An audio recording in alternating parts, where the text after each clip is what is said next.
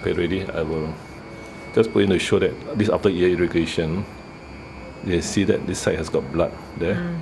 Uh, this, this shows that at first it was all yellow, that was pus and, and uh, all the bacteria, but now we irrigated. So this is only the raw, the raw uh, side of the ear. So this is a clean ulcers. Huh? Oh, you want to smell it? No need, I Don't. can smell for far. Should be, should be not smelly now. Should be not smelly now. huh? Okay.